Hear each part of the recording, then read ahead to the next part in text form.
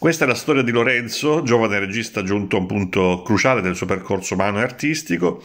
Dopo aver vinto uno dei festival cinematografici più importanti del paese, gli viene consegnata una lettera di convocazione da parte della Business Film Company, una casa di produzione tra le più rinomate del mondo. John McNamara, produttore senior nonché il mandante della sua convocazione, sembra ammirare moltissimo il talento del ragazzo, tanto da proporgli un contratto milionario per un film controverso.